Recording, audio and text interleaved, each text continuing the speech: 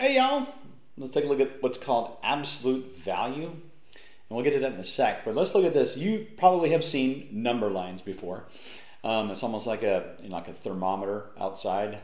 Do they still have those anymore? I don't know. Um, like the you know if it's a nice freezing day, it's like negative one degrees outside, negative two, then just keeps going dipping lower and lower. But if it's a nice healthy warm brisk day, it goes all the way up to one degree and two degrees and three and so on. It's nice and shorts weather. So anyway, okay.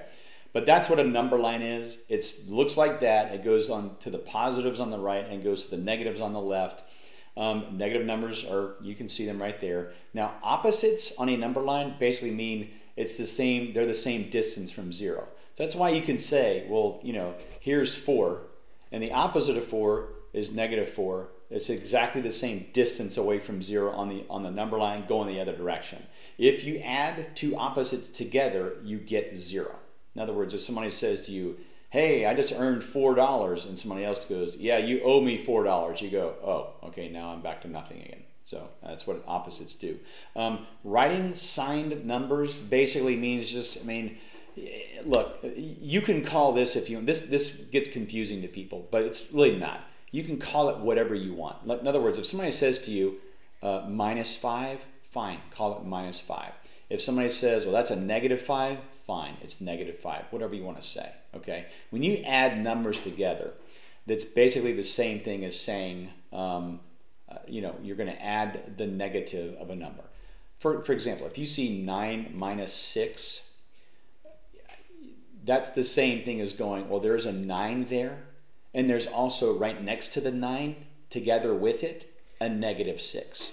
So in other words, if you're at the bank and you went, oh, I'm, I'm depositing $9, and you're going, oh yeah, later on the day, oh, I need to withdraw six dollars. Well, on net, you have three dollars that you have, you know, added to your bank account. Um, absolute value sign, you should know this. The the meaning of absolute value means, make sure you understand this. You might want to write this down in your notes, but the meaning of absolute value is the distance from zero. That's what that means. Okay, make sure you understand that. That's going to come in very handy for you. Okay, so the meaning of absolute value is how far away is that number from zero. Okay, so and this is how you write it, by the way. If somebody says to you the absolute value of five, you just surround it with two, you know, vertical lines. That's what it looks like. So the question is, okay, well, what is the absolute value of five? How far away from zero is five? Well, the answer is, you'll not be surprised to learn, five. Okay. What you might be surprised to learn, however, is this. If somebody goes, oh, what is the absolute value of negative 4? What the person's asking you is how far away from 0 is negative 4? And the answer is it's 4 away from 0, right? that's all there is to it. Knowing that is going to be handy when you add signed numbers. And, um, and listen, what we're doing coming up, adding and subtracting different signed numbers, I'm going to tell you something. This is the meat and potatoes of algebra. You better know this. This will either uh, make things really, really easy for you or this will absolutely kill you. Okay, I have discovered through 23, four years of teaching algebra that the number one issue kids have with algebra is not about x's and y's and all that jazz. It's that they do not know their addition and subtraction tables and their times tables as well. So if they sit there and they go, if you if you can't do 13 minus 8 like immediately as 5, you're gonna you're in trouble. Okay, I mean if you don't know 8 plus 9 immediately, you're in trouble. So you need to go to something like, uh, they have something like, it's called softschools.com. You can go on there and do practice, you know, worksheets. You need to get fast at these. It needs to be immediate and it needs to be correct. You're going to die if you don't know your tables and you try to mess with all these adding and subtracting sign numbers. It's going to be misery. So, I mean, you might even want to take off. I mean, I don't want to be doing anything drastic. So, but I would consider taking a couple of like a month off or something and just doing these like like a dog every day until you get faster and faster at them because you're going to be miserable doing messing with these things without knowing these things very quickly. Like what's 14 minus 9? See, you should have said 5 immediately if you had to go, well, let's see, I know that the, uh, no, no, you, you had to memorize it. So Anyway, just a suggestion. It's going to save you a lot of heartache, okay? I actually worked with a girl about probably 10 years ago, and her mom was telling me, it was like, um, what was it? Um, maybe Saxon 7 6. And her mom goes, Oh, Saxon's terrible. It takes my daughter three hours to do one lesson. And I went, What in the heck? Three hours? I mean, you could, like, you could, all, you could, I mean, you could, you could do a lot of stuff in three hours. Okay, I said, okay, let's let's figure out what the problem is. So she goes, okay. I, I said, okay, let's do number ten together. Okay, that's uh, 785 times 23. Go ahead. And she goes, or maybe it was like 789 or something. She goes, okay, nine times three. All right, so nine times three and know that 9 times 3, all right, then you take your fingers and you knock down one, two, three. You put down the third finger and you count them. This is two fingers. Okay, okay, we discovered the problem. Okay. You don't be doing no 9 times 3 by counting fingers. And 5 times 3, okay, uh, 5, 10, 15, oh, 50. No. You got to know your tables perfectly. It's like knowing phonics. Your parents, no doubt, teach you phonics instead of that whole language, you know, sight word garbage. Because people who learn sight words and, and um, they learn by sight words and they learn whole language or whatever, they don't learn to read. It never happens. You, you just simply learn to look at little flashcards and guess words. So you learn phonics so you can do any word. You learn your tables so you can mess with any number and not have to sit there for 20 minutes trying to figure out, you know, good grief, it takes you 10 minutes to do one problem in Saxon. That is several hours. You're crazy. Anyway, let's get to the meat here. Okay, so um, using arrows to add, you've got to know your plus and minus facts again, so make sure you do that. In other words, what you're going to do is it'll say something like this. Um, use arrows in a number line to add positive 2 and negative 3. Okay, so in other words, we're going to add positive 2 plus negative 3. And real quickly, you can either say this or write this like this. There's a 2, and we're going to add negative 3 you can either go like this, oh, positive 2 plus negative 3. That's one thing, uh, one way you could write it. Another way you could write it is you could just go 2 and then minus 3. A 2 and a negative 3 together gives you a certain number. So if you're on a number line, positive 2, you'd start here, right? You're going to add negative 3, which, mean, which means you're going to go backwards. 1, 2, 3, and the answer is negative 1. Positive 2 plus negative 3 is negative 1. Okay?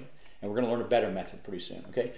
Are going to add negative 3 and positive 1. Okay? Again, two ways to do this. You can go, okay, that's going to be negative 3 plus positive 1. Or, if you wanted to, you could just go like this. Negative 3 plus 1. Same thing. Or you could reverse it. I mean, it doesn't matter what order you add things, right? What's 5 plus 6? 11. What's 6 plus 5? 11. So negative 3 plus 1 is the same thing as a 1 there, and then minus a 3. It's the same thing. But let's just do it. So you're at negative 3. We start there. We're going to add 1, which means we go to the right on the number line, and the answer will be negative 2. You should be noticing, by the way, that you've got, oh, wow, there's a 3 and a 1 there, and it ends up at a 2. Hmm. 3 and 1 and 2, those are all kind of related. Wait a minute. A 2 and a 3, and that's going to be, oh, hold on a second. 3 minus 2 is 1. Wait a minute, there's something there, and there is. And we'll talk about that in a second. Okay, so let's do this one. Um, first one, we'll go positive 2 plus positive 1 on a number line. Well, we start right here, right? If we go, if we add a positive number, we go to the right. So the answer is 3. Okay, how about this one? We go a negative 2 and we add a negative 1. So we, we start here and we go negative 1. If we add a negative, we go this way, right? So there's your answer, negative 3. Okay, there will be a rule. We'll talk about that. So we'll tell you how to do it next time, but let's try practice problems on page 220. Um, do A, B, C, and D, and let's come back, right? Pause it. Okay, we're just going to add these. Let's go on this first one. Uh, I got a positive 2 plus a negative 4. It means I'm st starting there at positive 2. I'm going to go left, 1, 2, 3, 4, and then there's my answer, negative 2 okay? you should notice again, wait, there's something to this. There's a four, you know, two plus two is four. There's something going on there, and there, and there is. Okay, so we'll start negative two plus positive four. So we'll go right here, and we're going to add four. That'll be one, two, three, four, and our answer is positive two. Okay, C, I got negative two plus negative three. It means I'm going to start right here. If I add a positive three, I go this way. But if I add a negative three, I go this way. So I end up at negative five.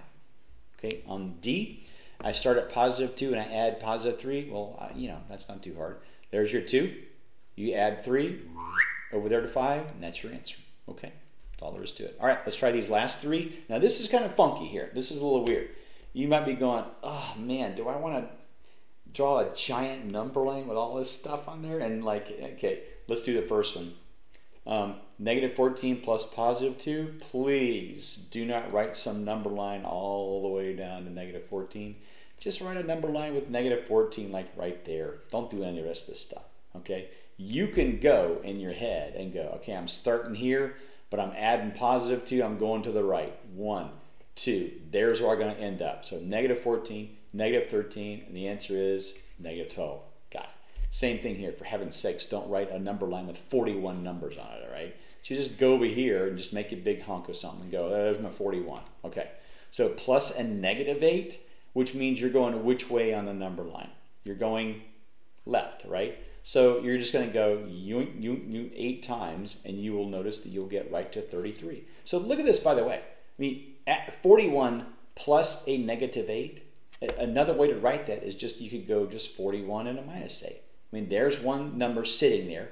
There's another number sitting there. They're both together. You know, it's 41 minus 8. It's the same thing, all right? Same thing over here. You could write this if you wanted to. I got a negative 4 sitting there. I'm going to plop a negative 15 right next to it and get them together. So if you're on your number line in this one, you're ooh, that's kind of weird. Right, you're at number four. Just go. I mean, negative four. You're at negative four. You go over 15 times. You probably didn't have to do this, but you could just kill. Okay, the answer is negative 19. Boom. There you go.